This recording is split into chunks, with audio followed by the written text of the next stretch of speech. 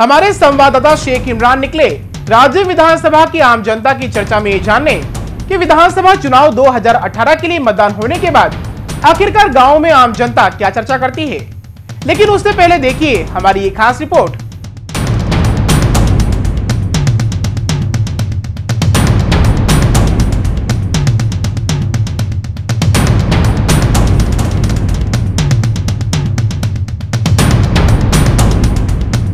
विधानसभा चुनाव 2018 के लिए बड़ा चुनावी संग्राम देखने को मिला। जीत का परचम लहरा रहे सभी राजनीतिक पार्टियाँ पूरी ताकत झोंक कर चुनाव मैदान में उतरी और चुनाव प्रचार में पूरी ताकत लगा दी। भाजपा की बात करें तो विकास के दम पर जनता का विश्वास जीतकर चौथी बार सरकार बनाने का दावा कर रही है। तो वहीं कांग्रेस दस दिनों में किसानों की कर्ज माफ़ी की घोषणा कर कांग्रेस की सरकार बनाने ताल ठोक कर दावा कर रही है। तो जनता कांग्रेस, छत्तीसगढ़, जे भी, पीछे नहीं। पार्टी सुप्रीमो अजीत जोगी शपथ पत्र को सामने रख, छत्तीसगढ़ के फैसले छत्तीसगढ़ में होने का दावा कर अपनी सरकार बनाने खूब दावा कर रहे हैं। यही वजह रही कि सभी प्रत्याशियों ने पूरा ज़ोर लगाकर चुनाव प्रचार किया। और जनता को खूब रिझाने का प्रयास भी किया। वहीं विधानसभा चुनाव के लिए लोगों ने मतदान भी बढ़ चढ़कर किया। व लोकतंत्र के पर्व में हिस्सा लिया और मतदाताओं ने लंबी कतार लगाकर पूरी ज़िम्मेदारी के साथ मतदान किया। मतदान के बाद एकदम से चुनावी शोर शराबा शांत होना तो लाजमी बात है। अब सबको परिणाम का बेसब्री से इंतज़ार है। मतदान के बाद आम जनता अब अपने काम काज में व्यस्त हो गई है और दो वक्त की रोटी के लिए मेहनत कर रही है।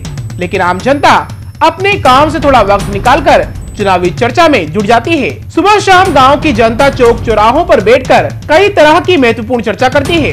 ग्रामीणों की चर्चा से कई तरह की बात छनकर निकलती है, जो बेहद ही खास होती है। इसी चर्चा को समझने और आप तक पहुँचाने हमारे संवाददाता शेख इमरान पहुँचे आम जनता के बीच। जी हाँ हम आम आदमी के बीच पहुँच चुके हैं। जी हाँ ये वही आम आदमी है जो जो चौक चौराहों में बैठकर चुनावी चर्चा करते हैं।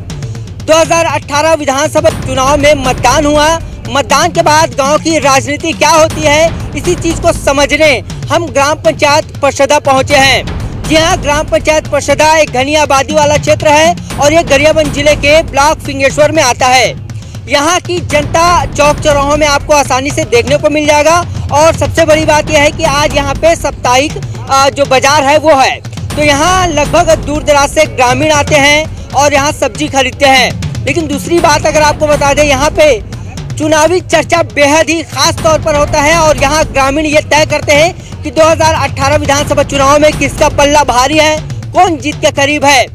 इन्हीं चीज़ों को समझने और गाँव की राजनीति को समझने हम जनता के बीच पहुँचे हैं तो आइए हमारी चर्चा का शुरुआत करते हैं। यहाँ पे मौजूद बहुत सारे ग्रामीण हैं। भैया, ज़्यादातर देखे हैं चुनाव 2018 चुनाव में मतदान हुआ। मतदान के बाद क्या चर्चा होता है गाँव में? क्या चर्चा हो रहा है? किसका पल्ला भारी है? देखो भाई यहाँ तो तिरकुनी संघर्ष चल रहा है लेकिन कुल मिलाकर देखा जाए तो संतोष जीतेगा। किसी हाँ भाजपा जीतेगा हाँ। क्या चर्चा होता है भैया? गाँव में किस तरह का चर्चा होता है? चौक चौराहों में बैठते हैं तो लोग शर्त लगाते हैं तो कि क्या क्या चर्चा होता है? वही चर्चा चल रहा है भाजपा का। त्रिकोणीय संघर्ष में भाजपा का पलड़ा भारी भारी लग रहा है। भारी लग रहा है। अच्छा आप लोग आप लोग को क्या लगता है? बता।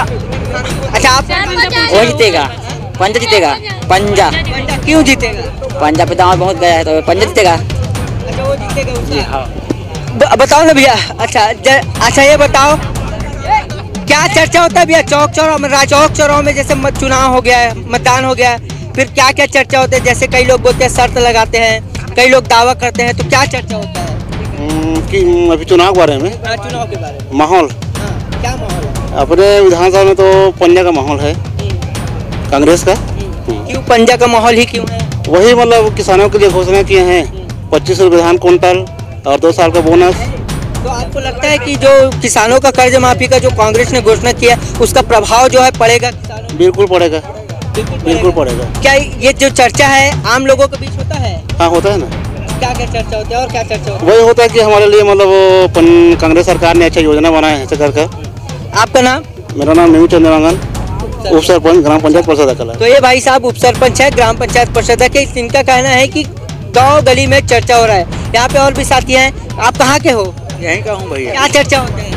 हमारे यहाँ मोटा है कि कांग्रेस जनता पार्टी जो है वो क्या है किसान लोग के लिए मजदूर जो गरीब किसान। दबदबा किसका है? अब हमारे तरफ़ दबा है जो इस साल कांग्रेस का जो लहर चल रहा है वही कांग्रेस का ज़्यादा मध्यांतर में चल रहा है। अच्छा तो बहुत सारे लोग यहाँ पे मौजूद है जैसे अच्छा आप क्या नाम है काका आपका? मोतीराम साहू। मोतीराम साहू। साहू जी आ, क्या चर्चा होता है जैसे मतदान हो गया? जो माहौल है नया वो सब धान के ऊपर डिपेंड है। हाँ। हाँ बोनस के लिए और सब चिल्ला रहे किसान। कांग्रेस का सत्ता पलटना चाहिए करके बोल रहे हैं सब लोग। अच्छा सत्ता मतलब कांग्रेस की सरकार आनी चाहिए? आना चाहिए हाँ। क्यों क्यों भरोसा है कांग्रेस पे? हाँ भरोसा है। पूरा भरोसा है। भरोसा भाजपा भी चौथी बार सरकार बनाने का दावा कर नहीं नहीं नहीं नहीं नहीं। हाँ बदलना है। बदलना है। आओ तमाम लोग यहाँ पे मौजूद हैं पुराने से पुराने लोग यहाँ पे मौजूद हैं। अच्छा आप दुकान क्या चीज़ का दुकान हैं? हम लोग भजिया का दुकान लगाते क्या नाम है आपका? राजेश कुमार निषाद। अच्छा आ, क्या लग रहा है लोगों के बीच क्या चर्चा हो रहा है? लोगों को बीच यही चर्चा हो रहा है कि चुनाव माहौल है इसीलिए बोल रहे हैं कि कोई आदमी बोल रही भाजपा जीतेगा कोई बोल रहे कांग्रेस भी जीतेगा मगर मालूम नहीं कौन जीतेगा अभी तो जारी है। लेकिन अब किसका पल्ला भारी नज़र आ रहा है?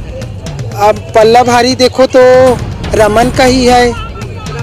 हाँ। अच्छा ये माता राम आप क्या बना रहे हो क्या बना भजिया बना था। क्या क्या डालते हो भजिया अच्छा कौन जीतेगा किसका पल्ला भारी? नहीं जानू दादा मैं कौन? अच्छा मतदान किया हो आप? हाँ। किसका शोर ज़्यादा है? कौन जानी? ये पंजा है काते। पंजा है? हाँ। क्या नाम है तो धनमत। तो एक देख, देख सकते हैं माता राम जो है बढ़िया मस्त यहाँ पे पकौड़े बना रही है और उनके मदद कर रहे हैं। आपका क्या नाम है? काका काका पल्ला भारी नज़र आ गए पंजा तो कहा जी। से उम्मीद है? मैंने थे क्या उम्मीद है। अच्छा तो तमाम लोग यहाँ पे मौजूद हैं सब अपने अपने तर्क लगा रहे हैं और सब अपने अपने तरह से दावा कर रहे हैं। जैसे कि बुज़ुर्ग महिला को आप देख सकते हैं हटिए थोड़ा सा। यहाँ पे मूली की सब्ज़ी बेच रही है। माता राम आ, मतदान वोट डाले हैं। काकर शोर लगा थे कौन जीती अच्छा कतना के मूली बेचे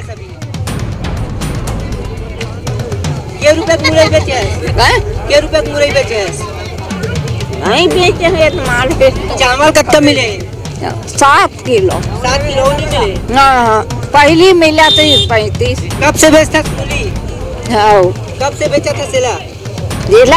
हाँ। ये घर के निकल जाते थे एक आध कमी भी हाँ। तो बिल्कुल एक बुज़ुर्ग महिला है जो यहाँ पे मूली सब्ज़ी बेच रही है और भी तमाम जैसे लोग हैं ये जैसे भाई साहब हैं ये आपका दुकान है? बेचते हैं ये तो चना चना मुर्रा नटट। अच्छा जब लोग आते हैं तो जैसे मतदान हुआ है विधानसभा चुनाव के लिए किस तरह का चर्चा होता है भैया? वो वाली बात अभी तक नहीं सुना मैं। फिर भी जैसे कांग्रेस का पल्ला भारी है तो भाजपा का है। सुना नहीं मैं कसम से नहीं सुना मैं क्या लगता है आपको? मैं वो करवा ध्यान नहीं भाई सब बात के बाद नहीं देते भाई आप तो मैं कोई मतलब नहीं रखो साथ में। तो अच्छा महँगाई कम होना चाहिए। बराबर। हाँ? आपको लगता है महँगाई है? हाँ कैसे नहीं भाई? और क्या क्या समस्या हर चीज़ के रेट बढ़त हो थोड़ा। तो आपको क्या लगता है इस बार कौन सरकार से क्या उम्मीदें करते हैं? जो भी नया सरकार बने चाहे भाजपा बने कांग्रेस के बने या कोई भी अन्य पार्टी तो क्या उम्मीद करते हैं? वो कैसे बता सकूँ यार करवाने क्या क्या करना चाहिए? किसानों का कर्ज माफ़ी और वगैरह वगैरह। हाँ सब कर देना चाहिए हाँ। हाँ। पेट्रोल डलाते हैं। हाँ। पहले से महँगा है कि कम? अभी तो पाँच रुपये कम उससे लगा थे। कुछ राहत मिला है? हाँ और कम होना चाहिए? बराबर। अच्छा बिल्कुल। तमाम लोग यहाँ पे मौजूद हैं और सब अपने अच्छा काका काका चर्चा होते गाँव में कौन जीती कौन हारी बोलते? हाँ भी रहा भैया वो मन जानी। तो बिल्कुल तमाम लोग यहाँ पे मौजूद हैं। गाँव का माहौल अलग होता है और ये आप देख सकते हैं बच्चों की टोली देख सकते हैं। जब हम यहाँ पे कवरेज करने आए तो बच्चे यहाँ पे हैं और बहुत ज़्यादा भीड़ है। उत्साह है कैमरा को देखते ही। चलाओ आगे आ जाओ। तमाम लोग मौजूद हैं। भैया क्या का शोर है? जैसे चुनाव हुआ मतदान आप बताओ ना को- दुकान में ग्राहक किसका क्या कौन सा दुकान है आपका? कौन सा दुकान है? वहाँ पे आओ ना अच्छा तमाम तरह के लोग हैं। कोई अब से बात कर रहे हैं तो कोई नहीं कर रहे हैं। जैसे ये माता राम मूली बेची है। माता राम आपका क्या नाम है? नाम बताओ ना। अच्छा मतदान डाले हैं। वोट हाँ वोट डाल रही जैसे ही बढ़ेंगे। काकर चुनाव मतदान करे हैं।